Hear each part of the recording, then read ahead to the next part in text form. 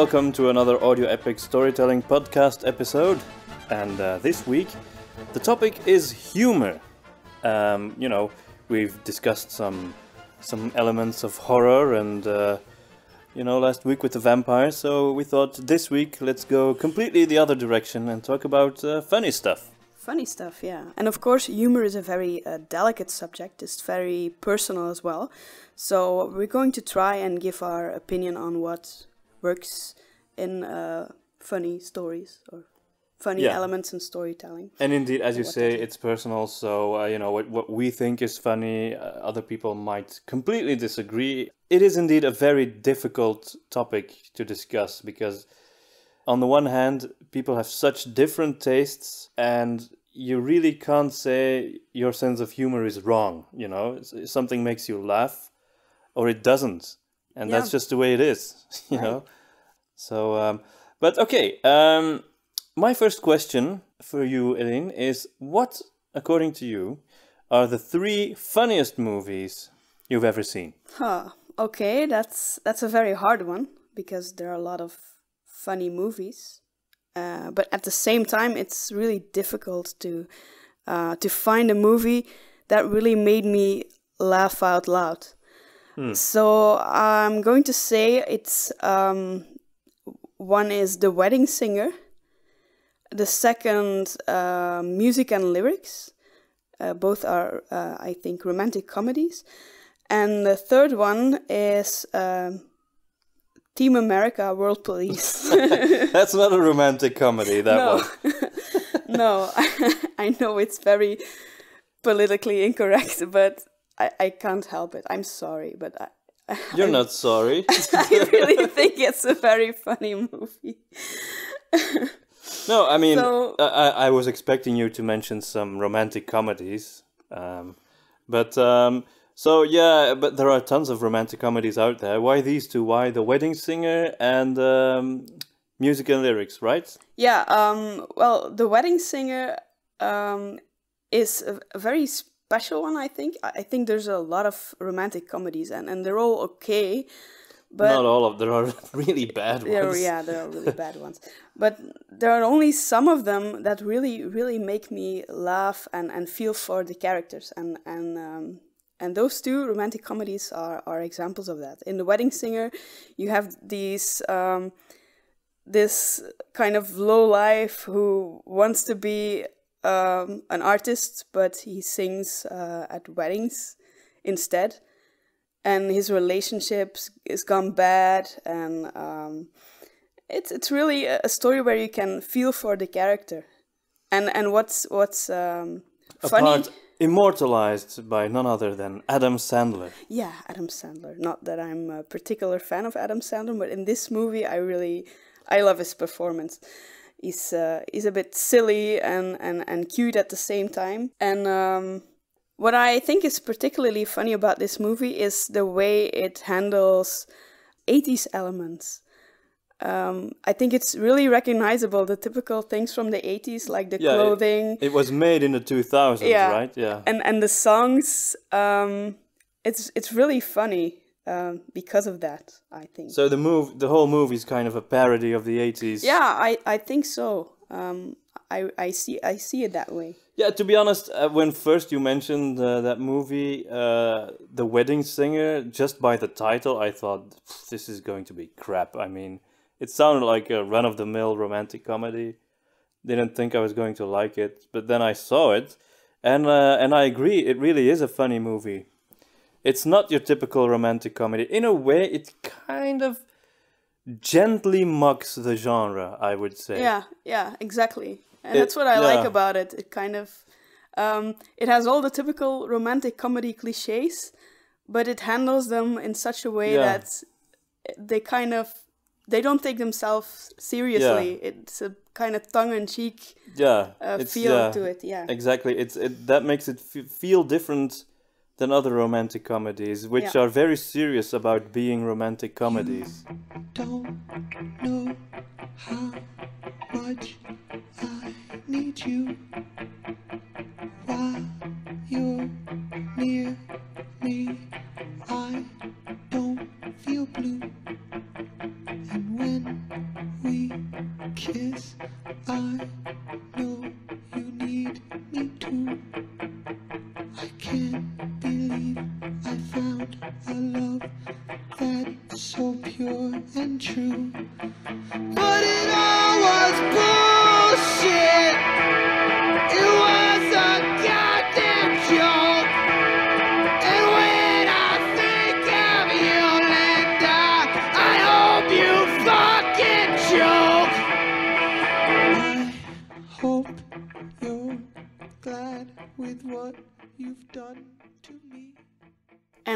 for the same reasons, I love uh, music and lyrics so much. That's that's one with uh, Hugh Grant, right? Yeah. Imagine that romantic comedy with Hugh Grant. yeah. Never happened, right? uh, I, I like that one in particular because um, it's it's really well done and it has all the the typical it has the typical format of a romantic comedy as well. Maybe it's a coincidence, but it's also with Drew Barrymore. Right. Yeah. Uh, and I think she she adds a bit of innocence to those movies, a very charming kind of innocence that I really like. And uh, it's also a kind of 80s parody, so maybe it's because I like Yeah. There's definitely an Parody. element of that. Yeah. um, what I love about this movie is that the songs are really well written, and the this the, you have this. Um, Grant used to be in a pop band, which was very popular, but um, they split up, and now he's trying to uh, find a career again, but it's really hard.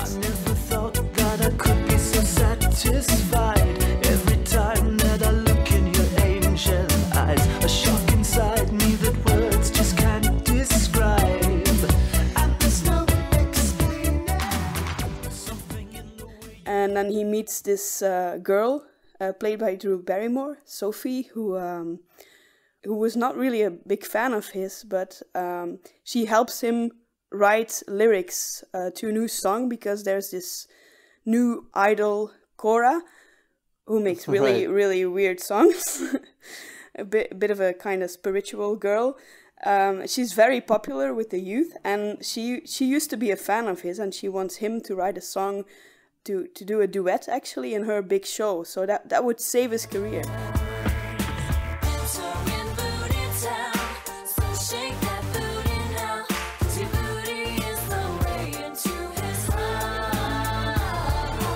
Uh, that's where Sophie comes in because he's very bad with lyrics, and uh, she helps him out. And of course, they kind of uh, there's a romantic tension there. So it has all the typical elements, but it's really funny because it's it parodies all these 80s and 90s elements as well. The songs from And, and pop are really it's, it 80s very -like. much parodies contemporary pop music. Yeah, too. Yeah, in, indeed. It really mocks, um, you know, things like what have you, Rihanna, and Yeah, but at the same time, those the the songs that occur in the in the movie are really well done.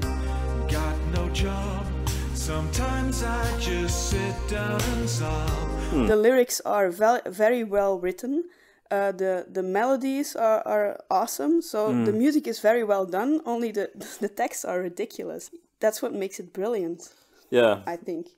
Oh well, uh, and and the the third one, uh, Team America, I think is so funny because I think because of the the music as well. It uses instrumental music often, um, and and it's it's really it's a great soundtrack.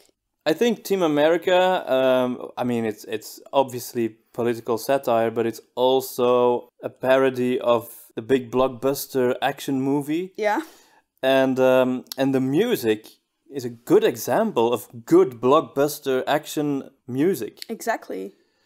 It takes its the music takes itself seriously. It it kind of refers to Thunderbirds as well, Yeah, yeah.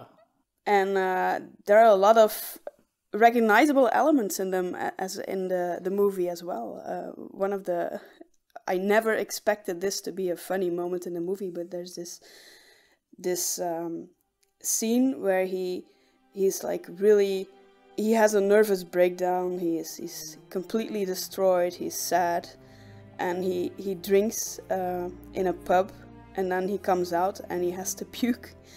And there's this very serious dramatic music that you would expect in a very serious dramatic scene. Because it's there to show that you know he's he's hit rock bottom. He Yeah. gave up on life. he gave up on life.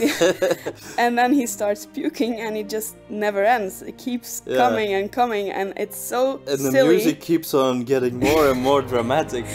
It's so silly and stupid and usually I would never laugh at something like that, but it's because of the dramatic music that I was like Yeah. crying. And the sort of in your face symbolism when there's this guy who walks by and he says, You gave up on life, didn't you?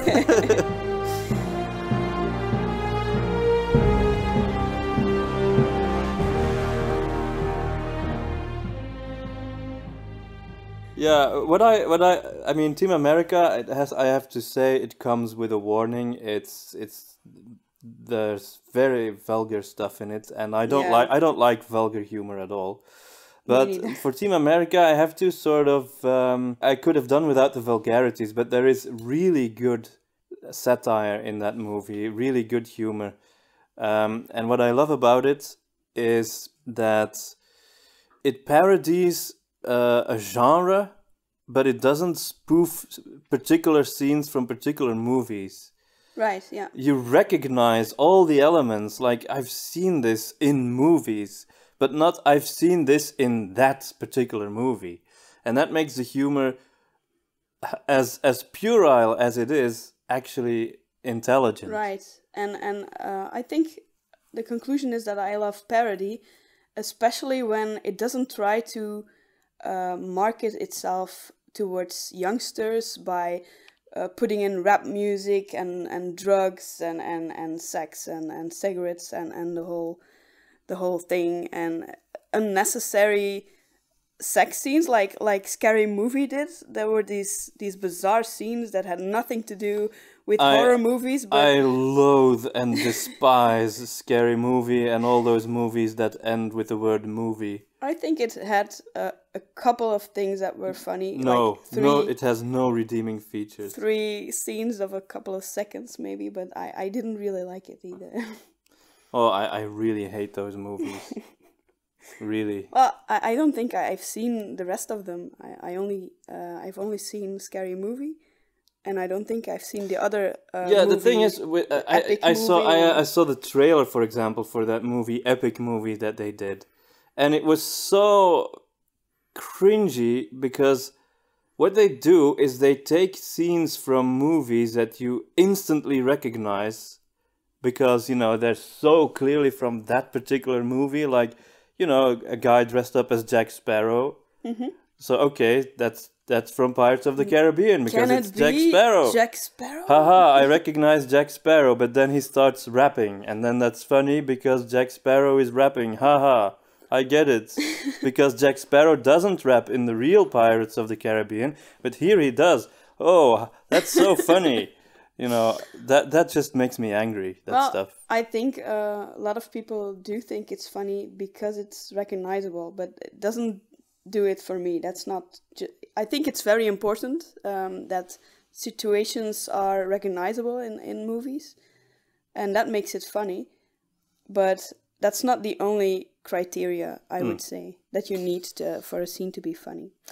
So I- I'll ask you a question now. okay Uh, what, in your opinion, are the three funniest uh, video games that you've played? Video games. Okay, that's something completely different.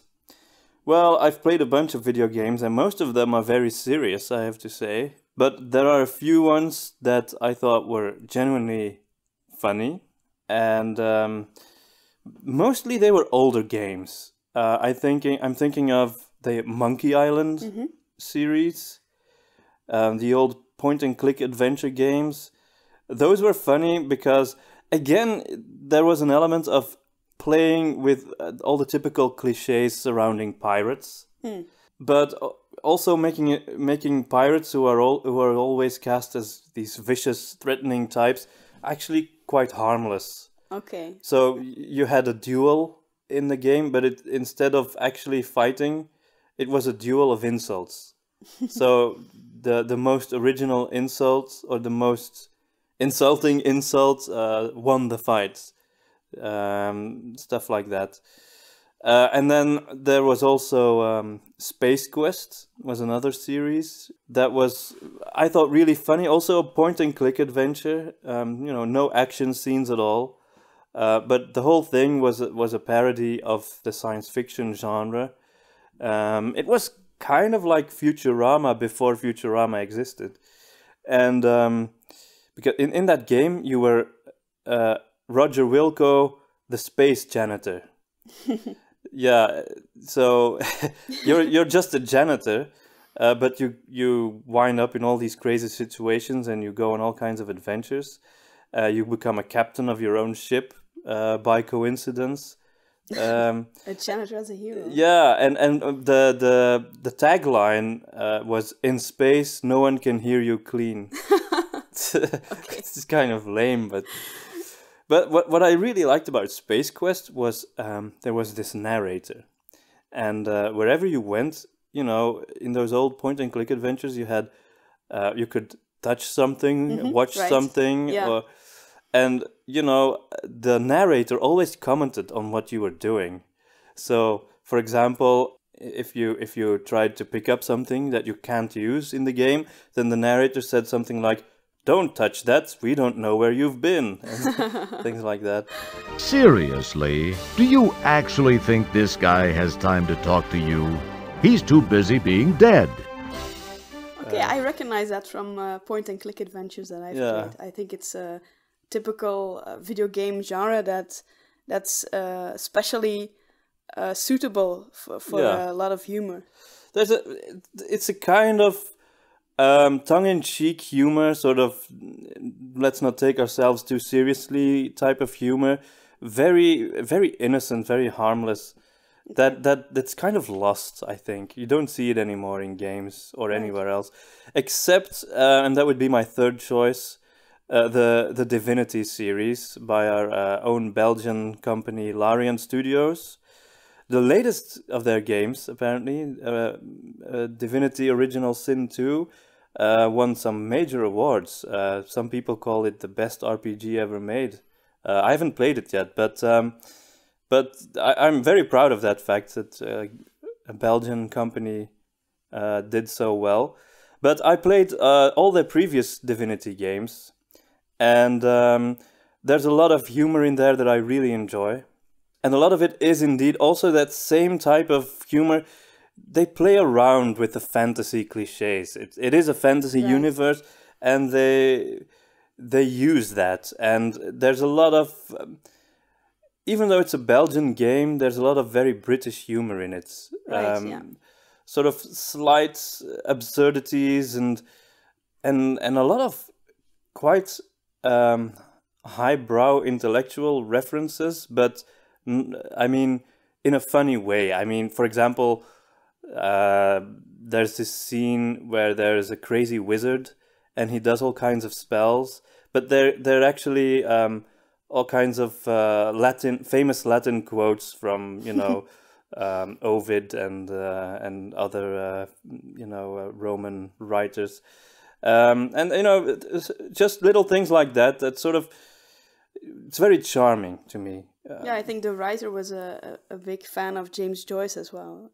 yeah, there's a lot of that in there as well. I think, um, and A lot of lit- literary a references. lot of literary references, but but it's not done in this sort of um, snobbish way. It's just i it's silliness, Yeah. and they they pepper it with some some intellectual humor. Some literary playfulness. Yeah, yeah. Um, for example, um, it also references um, Monty Python a lot, which I think is terribly overrated. But there were a few funny moments in Monty Python, uh, one or two. And um, for example, in, in one of the Divinity games, you go to uh, to an inn or a tavern, and there's a, a guy, an NPC, and he's called Brave Sir Robin. And if you remember in uh, the Monty Python movie, The Quest for the Holy Grail, um, there was this whole song about how brave Sir Robin ran away. uh, so yeah, I guess those those were the funniest video games that I've played. Okay. Actually, if you would uh, draw a conclusion from your favorites, is it mostly verbal humor then? Yeah, in video games, uh, it's all verbal humor. Um, I because I think I mean slapstick in a video game, I don't really see that working. I know uh, there's this game called uh, Goat Simulator. I've heard of it. Yeah, and it's it's a lot of people say it's very funny. I haven't tried it yet, but it's a bit of a parody of these simulator games. You have Yeah, all right. kinds of simulator, you know, uh, airplanes simulator. and yeah, and, and even trucks, etc. But Goat Simulator is, you know, um, you you command a goat, and the whole thing is doing ridiculous things like you know, putting the goat in a catapult or hanging it from a helicopter and uh, Okay. throwing it through a window and Never heard of it. yeah, I guess it's uh, it's a kind of slapstick. Um, I'm not sure if if if that's something I would particularly enjoy. I think video games are just graphically still a bit limited, and so you can't really do very funny stuff with facial expressions. May- uh, maybe I'm wrong, but Yeah, if you if you have a lot of conversations, which is the case in uh, in video games, then uh, you can do a lot of things with verbal humor. So it makes sense, I guess. Yeah, and I, I, I think I just like verbal humor, and the, also the um the very concept of humor in games is uh is is interesting. I think. Anyway, um, I I have another question for you. You know that humor is very often tied to a particular culture. Um, so, do you think that some cultures are particularly good at humor, or you know, because a lot of people talk about you know British humor, for example. Um, what's your take on that? Well, um, I think for me, uh, I think I like British humor the best. A lot of people do. I think I do too. Yeah, it's just the the French and Italian kinds of humor. They're kind of lost on me. They're often very much over the top. Uh, like Louis de Funès, he has some kind of uh, slapstick vibe, uh, and and I don't really like that. Um, it's like, which is actually British, Mr. Bean. I never really liked Mr. Bean. Continue. I'm drinking tea. Awesome tea, by the way. Blend tea. White Czar. Excellent. Excellent. Um, I never really liked Mr. Bean that much uh, compared to other people because it was, it was a lot of I think many people would like Mr. Bean a lot if, if they met him. well, perhaps, but I mean the the the television show, um, and and there were even movies uh, as well, uh, because it was all about his facial expression. And I'm not saying that Rowan Atkinson does not have a lot of very funny facial expressions. It's just that's that alone doesn't really make it funny for me and uh, in that way i, I preferred blackadder which was uh, verbal humor by the same actor and, and I- I thought that was much funnier than mr bean actually Well, I think Blackadder also works with because of facial expressions, but they are a lot more subtle. Like he raises one eyebrow, and it's a lot I, I funnier like than. subtlety maybe it's because i'm flemish yeah, no, uh, I do too. I do too. and and in that respect uh, flemish humor is actually getting better uh, I'm, I'm really starting to appreciate it more and more um, there are there are more and more um, series uh, in Flanders that that are really intended to be uh, kind of comical series, and they're not doing a very bad job. I think it's uh, it's actually going There the right some really way. good ones. Yeah, Uh, like uh, In De Gloria was quite funny. Um, I, but what I notice a lot about Flemish humor is that it's almost always based on situations where people are humiliated. It's based on shame. right. Yeah, that's true. It is, isn't it? Bec- it's it's because we- socially awkward stuff. That's where our humor comes from. Right. Almost always. yeah, because we are kind of socially awkward. It's true, yeah. Belgian people are very, very introverted and very, Compared to the Dutch, we're really different.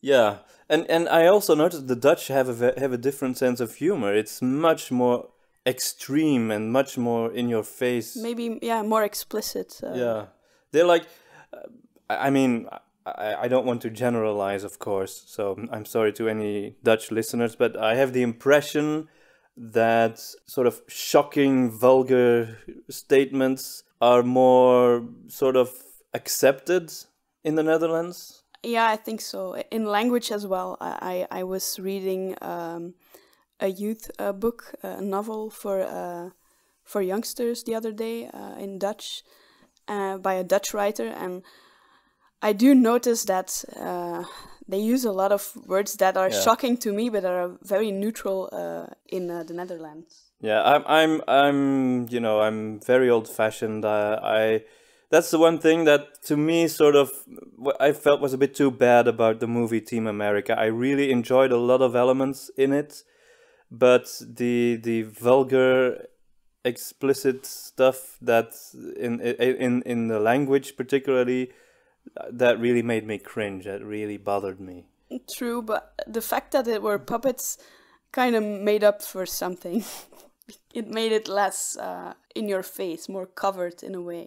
And I agree with you, by the way, when it comes to French and Italian humor. You know, the movie La Vita è Bella, uh, Life is Beautiful, was praised a lot because it dared to combine the very serious topic of the Holocaust with uh, some silly humor and did that in a way that was humane and life affirming. And I get that. And I'm not saying it's a bad movie, but to be honest, I only start liking the movie from the moment when he enters the concentration camp. Don't get me wrong, not because I enjoy that so much, but uh, but because that's where the emotional core of the movie Yeah. is. And before that, the first half hour is is a whole bunch of typical sort of Italian comedy that is totally not funny to me. You know, Yeah. with a, a, a horse painted green and all this silly slapstick stuff. That Yeah, maybe it's also kind of lost on us because uh, I think humor is also a bit culturally determined for a big part. So I think uh, what you think is funny is also influenced by the culture you grew up in. that's true. Same goes for time. I I think uh, what you or people in general thought was funny years ago might not actually be funny anymore these days. And I think Oh yeah. what you mentioned before, um, I think Monty Python is a good example of that because Yeah, there were a lot absolutely. of things I remember I thought really funny when I was a teenager, and then I watched them again, and I, it was kind of lost on me. The thing is, uh, not just Monty Python, but a lot of older um, comedy shows. Um, they are very, very slow, and you you get what the joke is after you know half a minute, but then it just keeps on going and going, and yeah. you you feel like I know where you're going with this. Just move on. Or it's not can- funny anymore. You can see the joke coming Yeah. from miles away. Yeah. Okay. Time for one more question. Okay, um, um, another question.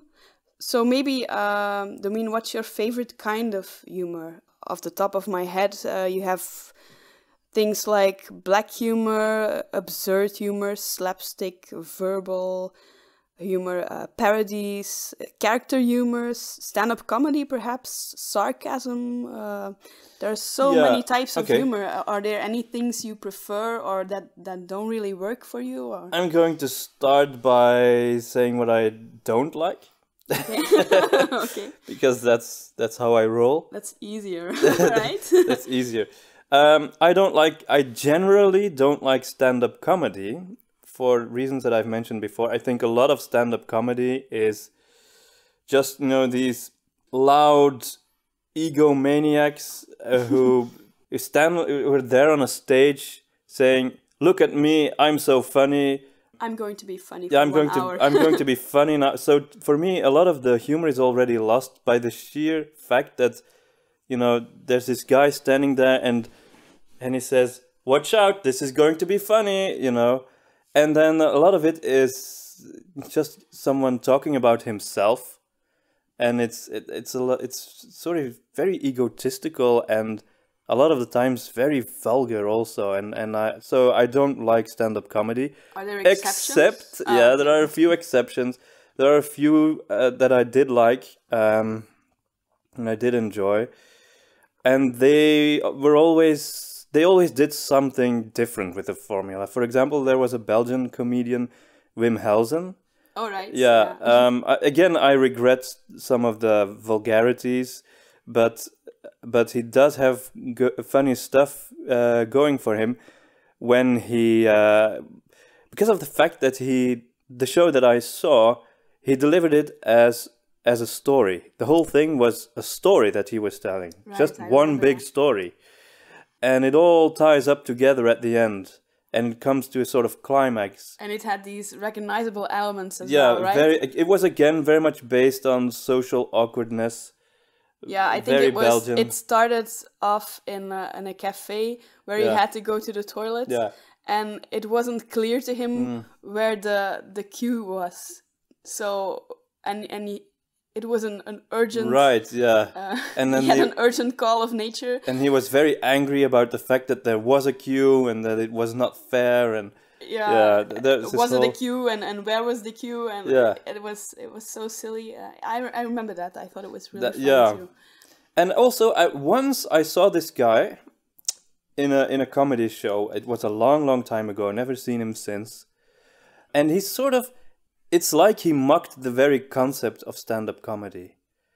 He came on stage and he was dressed in this very boring suit and he had a very boring expression. He looked like an accountant, and he stood there with his arms with his arms straight and his back straight, and he stood there and he just said, "I'm going to tell some jokes.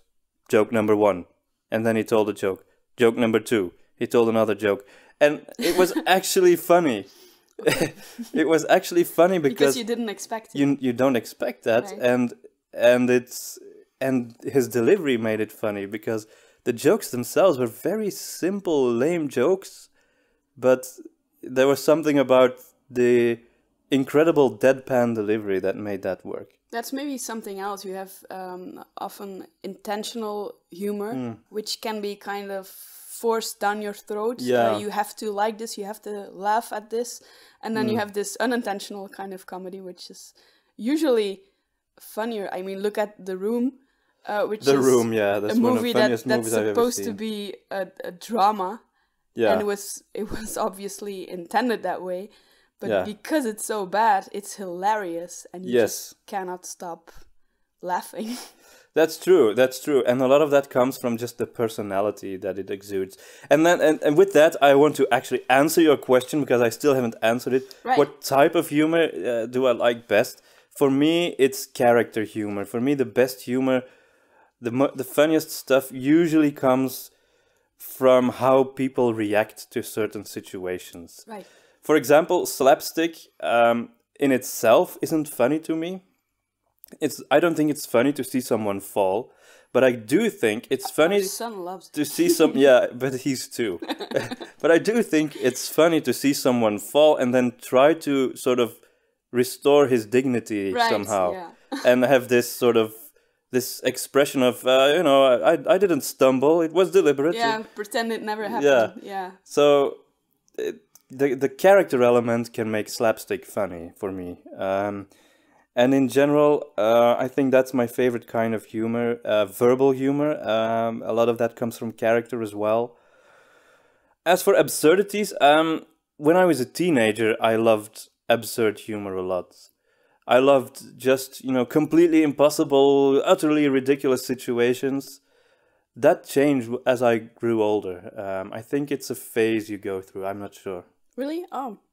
I can still enjoy it from time to time. Yeah. Yeah, I mean, but it's not just yeah. It's I had a friend, But it's um, hard to do. and uh, he, he may actually listen to this episode. But there, I had a friend, and we spent a lot of time um, making you know funny uh, little radio dramas um, when we were teenagers, and uh, writing funny stories, etc.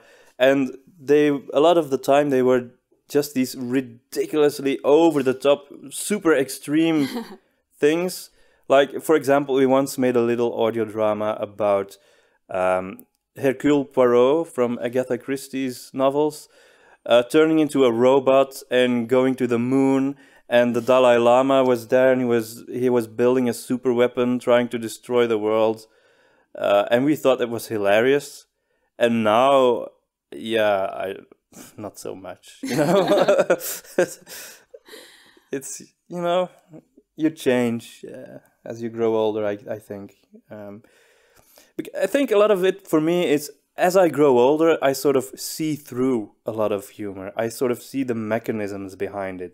It's like horror. It doesn't work anymore, because you know exactly how it is constructed. Yeah, and when it comes to horror, they they kind of try to they kind of try to push the boundaries. Uh, and and at some point, I was a really big horror fan, but at some point there was these uh, horror movies like like The Wrong Turn, which was still okay, and The Hills Have Eyes, and Hostel, and then you had The Strangers, and it, it all it got more and more twisted and dark, and I kind of I'm kind of scared to go to the theaters and, and watch a modern horror movie right now because they're they're really pushing the boundaries and I don't know whether I can still Well, take it. seems to me that they've sort of more recently taken a turn away from the really extreme what they call torture porn stuff which i think it's good that they went away from that yeah. and they've returned to sort of the classical um, sort of exorcism and ghost stories type stuff Yeah, that I can handle. which I prefer also. But um, but the problem with that is you you sort of start seeing through the the mechanisms, you know, the the jump scares, the you know, the oh, there's someone in the window, there's someone on the background, and they have a scary mask, and Right. uh, after a while you start sort of, you know, you know that it's Uh, some of the more yeah. recent uh, exorcism movies were really well done. I just think um, there's a there's this line that you better not cross. It it's it's when it starts getting disgusting. yeah, I completely agree. I just cannot Yeah. take it anymore. Like no. I, I, I never I've never watched or dared to watch the Human Caterpillar because what I've heard about it, I wouldn't be interested. and I just I think once you you you watched that movie and it's it's really disgusting, you cannot unwatch it. Yeah. It's there forever, and that's why I kind of skipped. Well, it's it. it's something that uh, James Cameron said in the making of Aliens. Was uh, he said that there is um, fear Mm-hmm. and there is disgust, and those are two completely different emotions. yeah. And he, And he had both, right? yeah, but uh, he said that he wanted to emphasize the element of fear, and he, Yeah. and therefore he he didn't go for super over the top gory stuff Not but more gore. for tension. Yeah. So I'm I'm referring to when the alien comes out of a human body, the sort of jumping Yeah. out of the the chest. He made that very brief. yeah, it's more scary than Yeah. disgusting. It's yeah. about it's about the threat of that and not Right. about seeing it in all its right. gory glory. I agree. I, I like that movie. Um, but now we're talking about horror. No, but uh, the the reason why I brought it up was because I think uh, the same goes for humor. Uh, you start Yeah. uh, seeing all these patterns in, in, in things that are funny, and then sometimes um, m- more modern series try to go past that and and and, Mm-hmm. and make it more original or do, do new stuff with it, and and it, it might work, but it, it might I I've never understood the idea of uh, shock value in humor, trying to shock through humor. I don't think a lot of people seem to think that that's sort of a, a, an obligation of humor. It has to shock people or something. I don't get that. Uh, to me, shock is a completely different emotion than uh, than you know being entertained by humor. It's just got nothing to do with each other. So these sort of movies where they they push the boundaries by going for really disgusting things, I just don't think it's funny.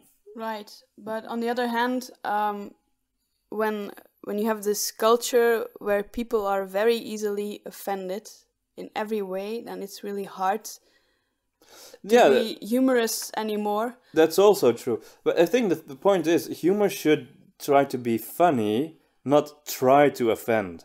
Right. Um, and, and you shouldn't be too offend too quickly offended by humor.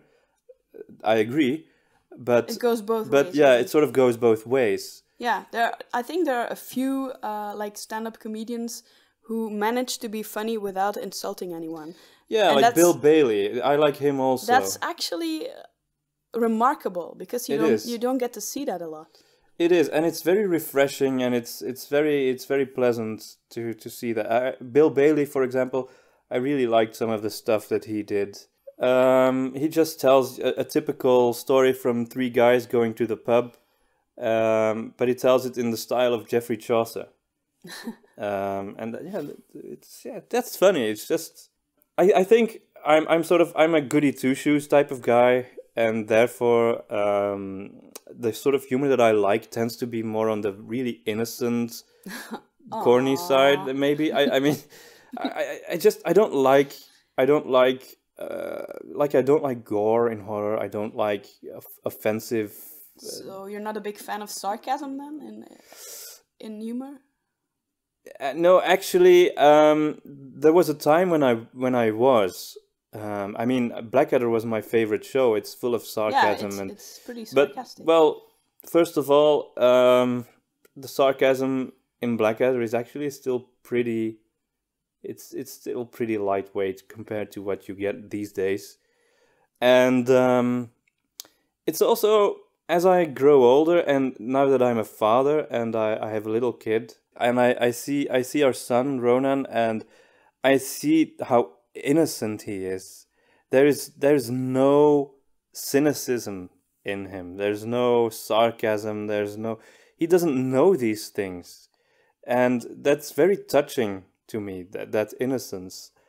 And it makes me sort of yearn for that again yeah. and and, and and therefore I want to avoid all the the sort of the the bitterness and ugliness that we've sort of come to maybe embrace as a kind of um, coping mechanism maybe?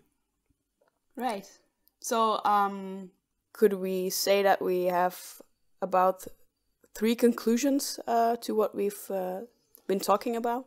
i don't know. What are your three conclusions? Uh, I would say that um, we both agree that an element of recognizability is very important to uh, to humor, yes. And uh, that that often comes from character humor uh, as well. Of course, we we've talked about Peppa Pig in the the storytelling uh, podcast on uh, children's TV shows. yeah and um, we mentioned that uh, part of the reason why it's funny is because there are these recognizable elements uh, Yes. to children's behavior and parents' behavior, and that's what makes it charming and funny. Yes. so.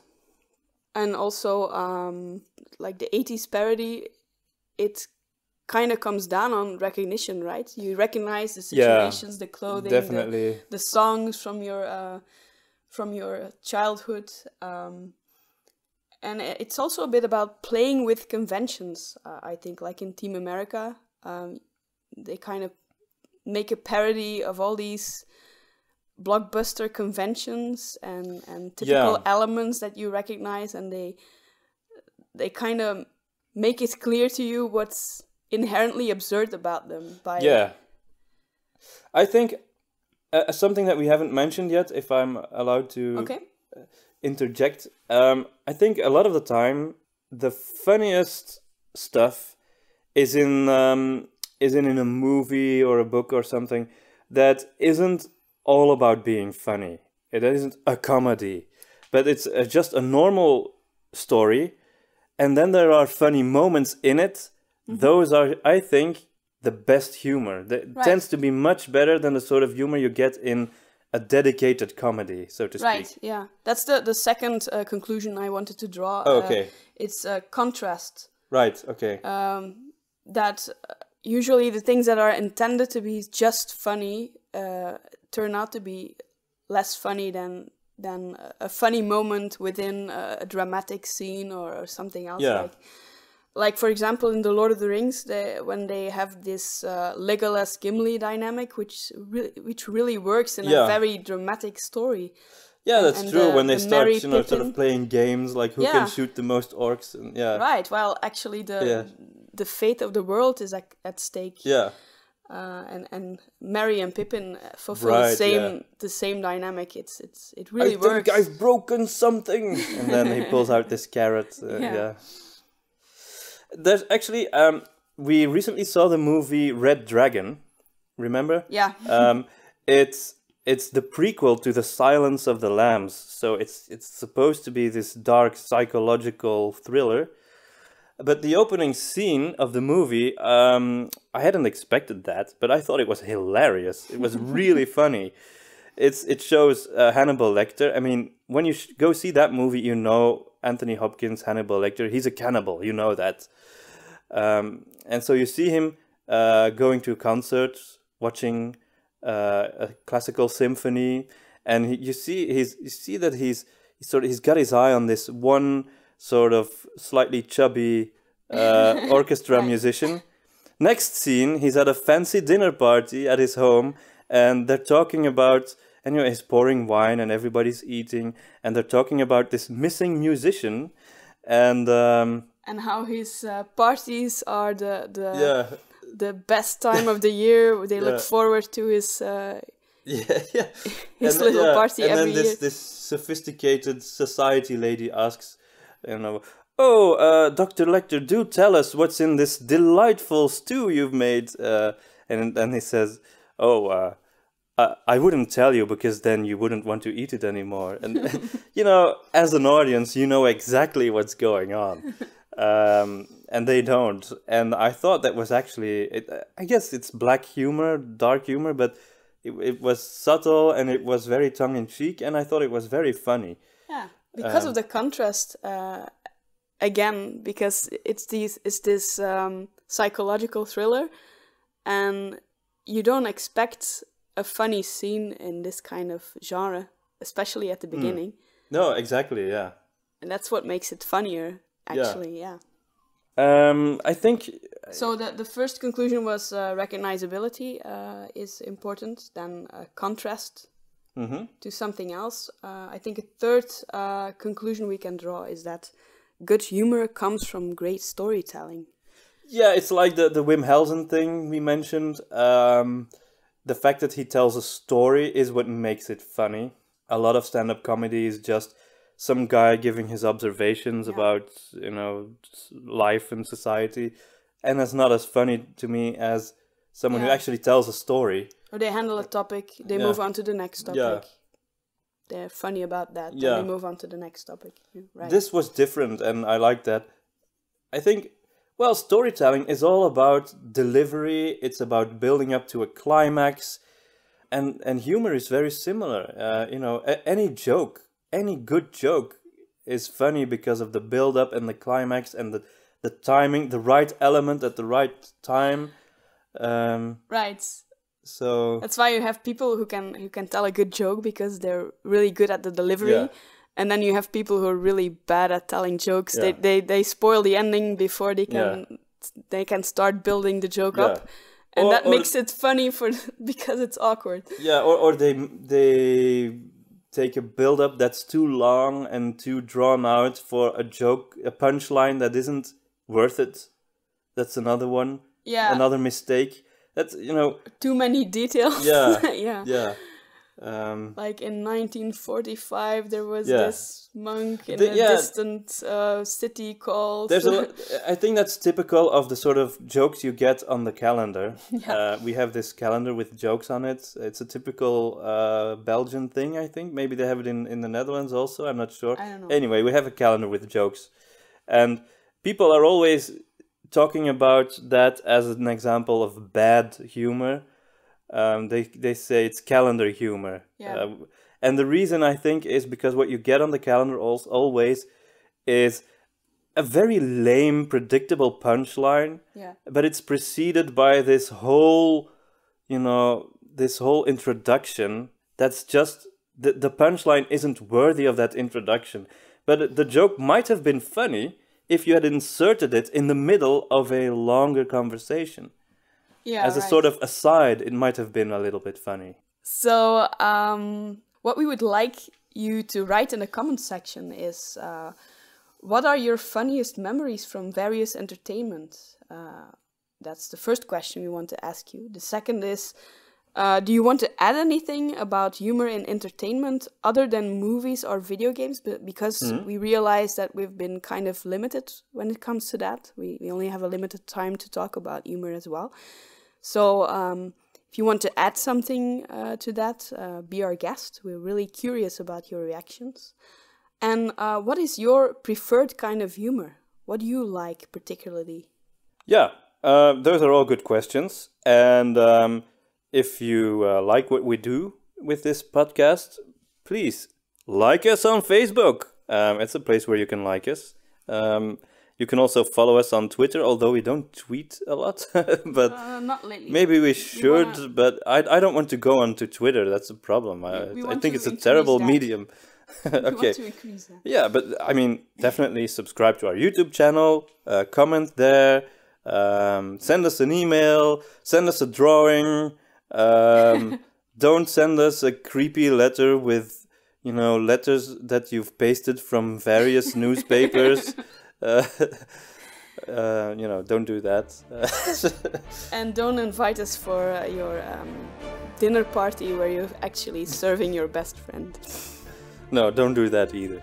Okay, so um, next week we'll be back uh, with a new topic in our storytelling podcast extravaganza. Thanks for listening. Bye.